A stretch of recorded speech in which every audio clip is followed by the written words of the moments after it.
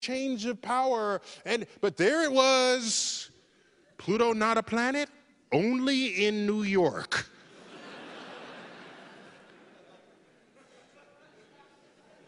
That's when the mail started coming in. I have a whole file, and it went on for five years. What's this one here? Dear scientist, what do you call Pluto if it's not a planet anymore? If you make it a planet again, all the science books will be right. Do people live on Pluto? If there are people who live there, then they won't exist. See, the cause and effect of things are not quite. Why can't Pluto be a planet? If it's small, doesn't it mean it doesn't have to be a planet anymore? Some people like Pluto. If it doesn't exist, then they don't have a favorite planet. Please write back, but not in cursive because I can't read in cursive.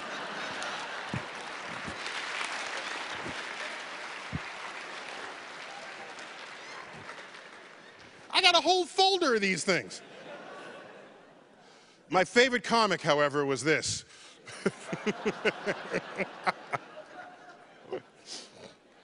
Look at those shoes he's wearing, those little near Earth objects. You know, I, these should not be called near Earth objects. That's an official phrase, NEOs. They should not be called near Earth objects because this is what they are. Okay? I think they just don't want to freak people out. Just, can I get a little more volume on the mic? Because I feel like it went down a little.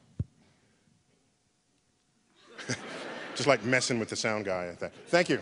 Thank you. I think that's a little better. This is what they actually are. Any object that's classified as an NEO has an orbit that crosses Earth's orbit, which means it will one day collide with Earth. It will collide with Earth. It's not just maybe. It will. It's just a matter of when. And we, you know, Earth has, you know, you ever been here? Yeah, it's, it's, Arizona is famous for its holes in the ground. This is one of them. This is Barringer Crater. I've been there. This thing is, it freaked me out when I first went as a kid. I, there was a, a, a road trip and went to the Grand Canyon and this. And for me, this just, Grand Canyon was like, okay, okay. You go to this, you know, Grand Canyon was like, took a million years to make. This crater took a 60th of a second to make, all right? It can bury a 60 story building and it's nearly a mile across. Well preserved because it's in Arizona where it doesn't rain much. So stuff gets hit and can get hit multiple ways. This is a, an impact scar on Ganymede, one of Jupiter's moons, and here's multiple hits in a row, like it's like carpet bombing. Well, you can have an asteroid break up, typically a comet, break up from tidal forces. Then you have this whole stream of objects. Now, if they all just came straight in, you'd think they'd all just fall on top of each other and make the crater wider and wider. But the object it's hitting is also rotating. So each next piece hits slightly farther in the opposite direction of the rotation. And that's what happened here. So it's not, there's not a question about whether things get hit. And this would be a bad day on Earth right here. Artist illustration by uh, Don Davis. And that's, about, that's, that's pretty big, though. That's even bigger than the one that took out the dinosaurs. Uh, yeah, that would, yeah, that's bad. Um, yeah, another really bad one, yeah. Let's be a little more realistic. Here's one about the actual size that would have taken out the dinosaurs. The one that took out the dinosaurs is about the size of Mount Everest. And obviously, you're just, you're dead if that's where you, if you're standing where it hit. You, you're, you're dead immediately, all right? But, but it killed all the dinosaurs. 70% of all species on Earth went extinct after this thing hit. So, our first indication that local phenomena can create global consequences climactically was gleaned by the computer models that analyzed this. This. Insights from the heavens. I, I once showed this, and someone in, in the front row, not even the back row, the front row raised a hand and said, Is that an actual photograph? and, and I was ready to just. No, front row people should know better. You know, it's the back row people. Uh, front row asked that. I was ready to just give up. We'll just go home. Then I said, Well, let me play with that a little. Yes, it is. The pterodactyl had a digital camera, and the chip, we pulled the chip out of it, and it still had the. You know, where do how, where do you go with that? Man. You know, we have an asteroid headed towards us. It's called Apophis, the Egyptian god of darkness and evil. Not named by accident, that.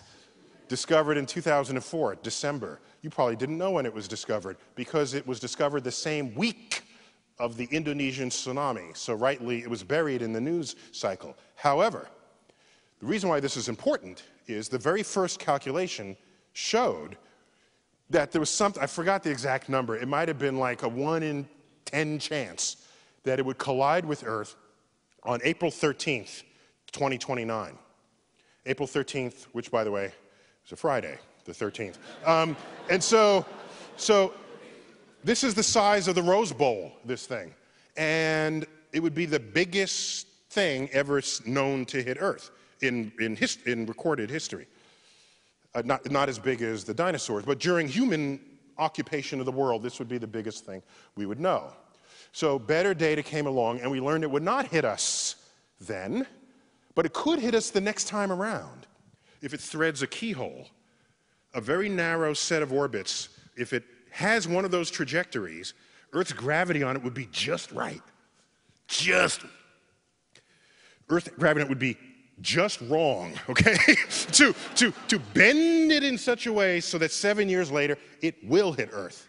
So you want to make sure this does not go through the keyhole.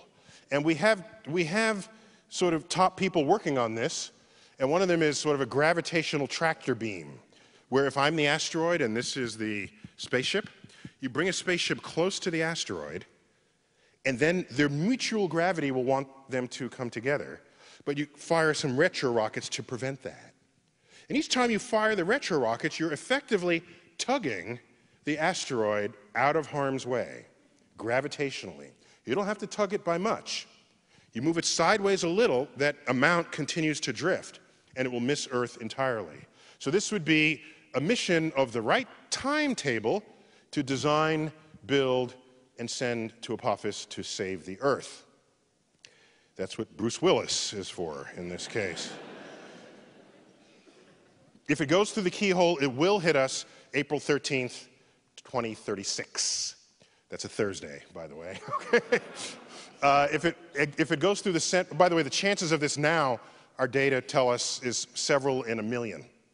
So you say, oh, not worry about that. But there are people who buy lottery tickets with worse odds than that, expecting to win.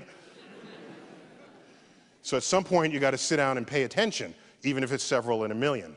So if it threads the center of the keyhole, it'll hit Santa Monica, sorry, it'll hit 500 kilometers west of Santa Monica, plunge into the ocean to a depth of three miles, cavitating the ocean to a width of three miles. It'll explode, that's the cavitating force, and send a tsunami 50, um, 50 to uh, five stories, so 50, 50 feet tsunami, five story tall, that will come to the west coast of North America and basically wipe it clean.